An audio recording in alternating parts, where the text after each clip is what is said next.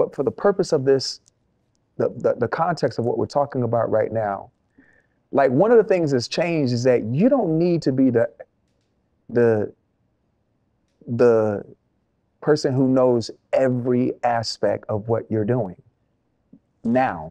Yeah. You can be really good at a couple things, but just recognize what you're not good at and take the other help.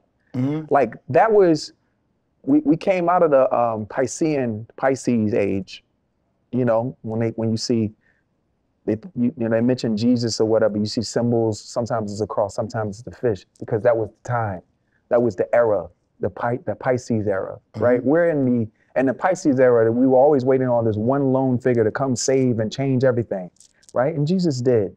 And there were a lot of other people around during that era that came out of nowhere. Like, man, Martin Luther King, he was really different.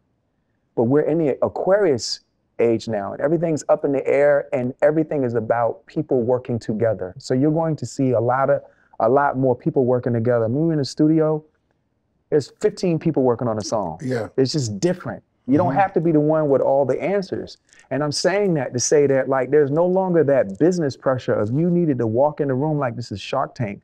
No disrespect, because I think they do a really good job.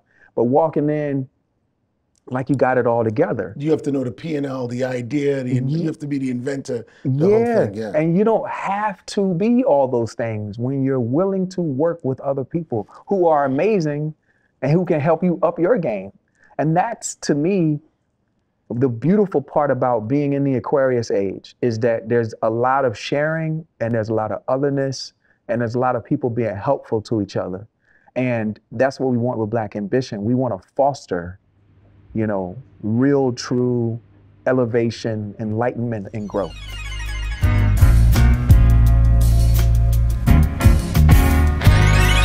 Yeah.